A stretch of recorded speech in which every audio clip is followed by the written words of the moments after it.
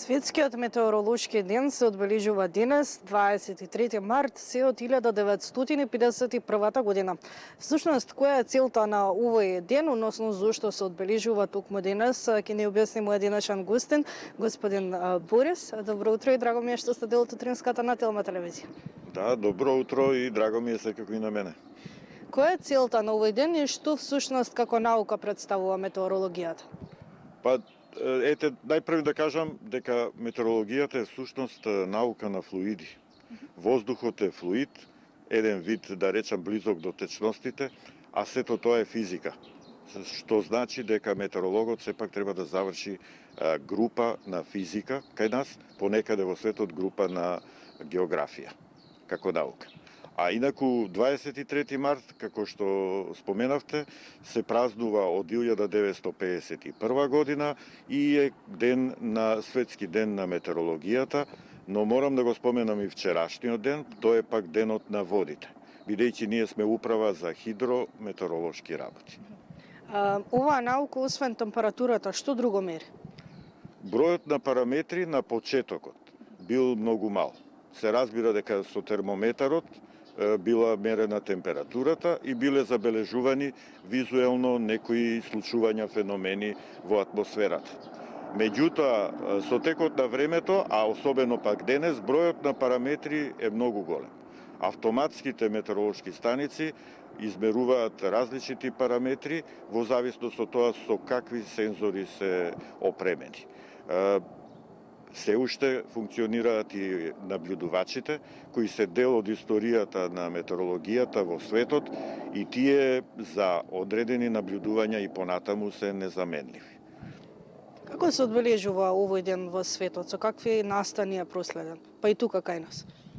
Па секако во рамките на Светската метеоролошка организација, таа е воспоставена сушност во далечната 1950 година, а потоа од 51 незиното основање е како ден на метеорологијата, денот на незиното основање, сушност во себе овозможувала да се воспостават стандарди на секаде во светот.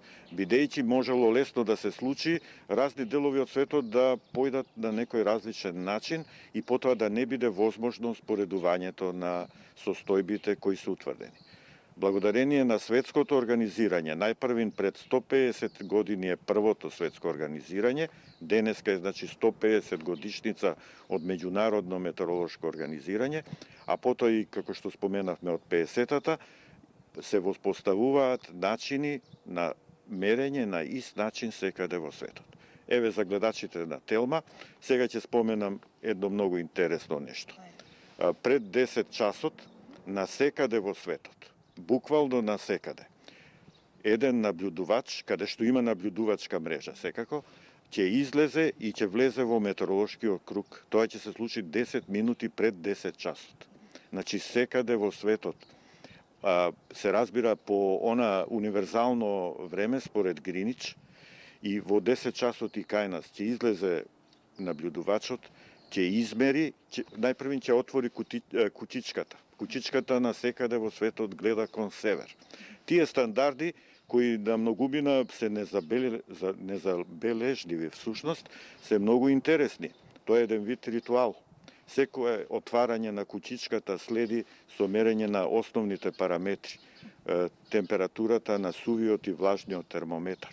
Сите запишувања на секаде во светот на набљудувачите одат на тој еден ист начин – така е можно на секаде и од секаде да ги земете податоците и да споредите што е тоа што се всушност се случило и колку е тоа различно од некое друго место во светот. Но тоа е само една мала приказна сега.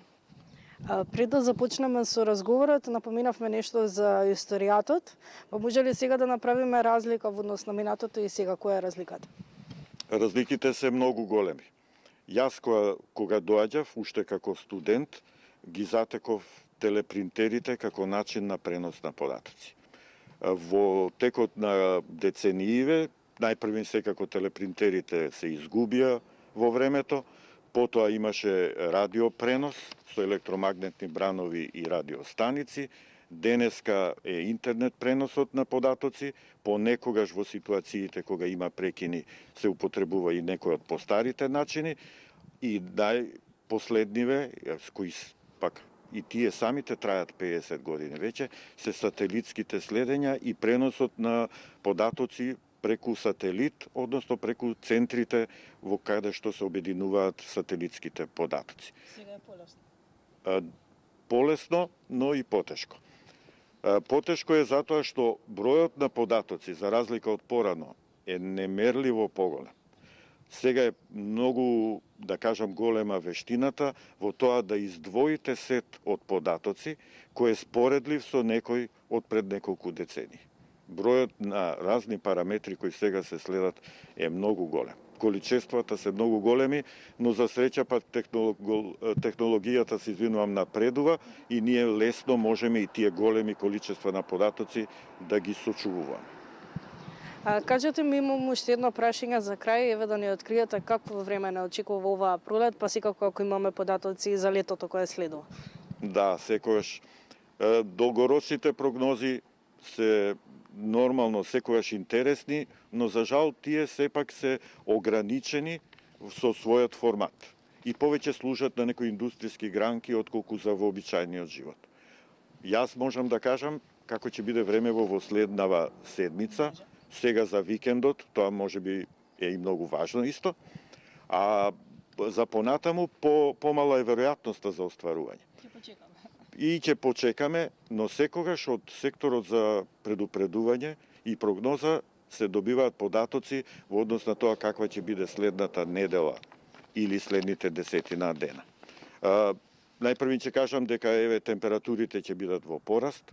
Во сабота и во недела температурата на југоистокот и до 24 степен, со едно преодно на облачување, понекаде редки грмежи во сабота, особено на истокот од Републиката, и малку ветер, а од понеделник повеќе дошт. Дошт секако ќе има повеќе во планинските региони, помалку дошт по Вардарието, но она што ќе забележиме ќе биде спуштањето на температурите, особено од вторник температури пониски, крајот на тие врнежи понекаде ќе донесе и по некоја снеголка на повисоките места, на планините секако малку снег, и температури повторно кои ќе се доближат наутро до нула, понекаде и температура од минус 1-2 степени во средина на неделата.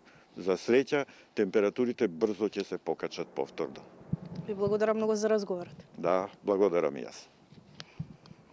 Говоревме на тема Светскиот метеоролошки ден кој се одбележува денес 23 март и ете мојот денешен соговорник открив сушност дека овој викенд не очекува сончево и потопло време, така да може да го искористиме за прошетка овој викенд.